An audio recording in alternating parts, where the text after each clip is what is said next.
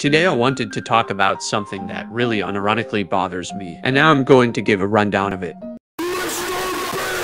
So you've probably already seen my video if you haven't seen it here it is. But recently Mr. Beast made a video called 1000 blind people see for the first time, and that is a wonderful thing.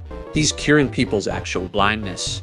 Well, actually, he's just doing a regular cataract removal procedure, but anyways, this is amazing. But Twitter and other people didn't find this as such good news, and this is just ridiculous. Get mad, do whatever you want, and if he's just doing it for attention, I don't care. At least he's helping people.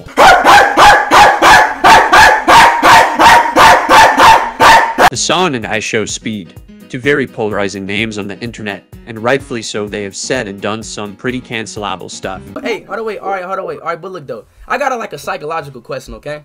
Mm-hmm. Say if we the last two people on Earth. And lately Iraq has had some terrifying earthquakes killing thousands of people. So Speed and Hasan have been doing charity streams to help people affected by those tragedies. But like in the Mr. Beast case, people didn't like the fact that those depolarizing figures were getting money to the innocent people in need. So they were bombarded with comments like this.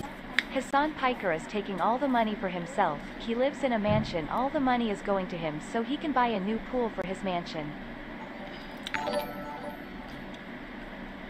Yo, chat, what is going on? Super Nah, nah.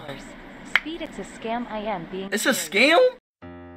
I'm trying to find a way to end this video on a positive note, but at this point, I just don't know a positive and pen pet I can give to this situation, so the only thing I can say is have a happy day, happy night, or happy afternoon whenever you're watching this video, and if you want to help or donate, do as you feel. This was Meme Sunday, and I'm out.